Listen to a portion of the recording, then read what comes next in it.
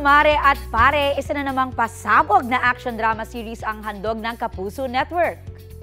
Yan ang seryeng mga batang riles na pinagbibidahan ng Sparkle Stars sa sina Miguel Tan Felix, Kokoy De Santos, Rahil Biria, Bruce Roland, Antonio Benzon at Zephanie.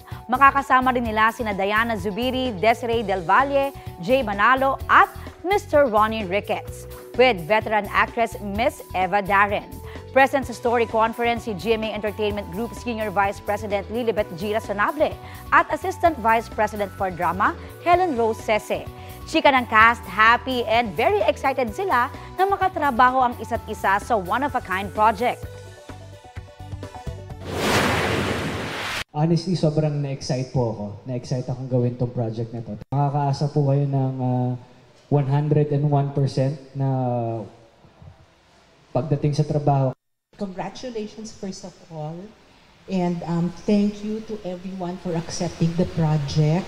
Thank you, of course, to our um, very talented creative team na alam naman natin, um, bibigyan kayo ng napakagandang storya na ah, aabangan gabi-gabi.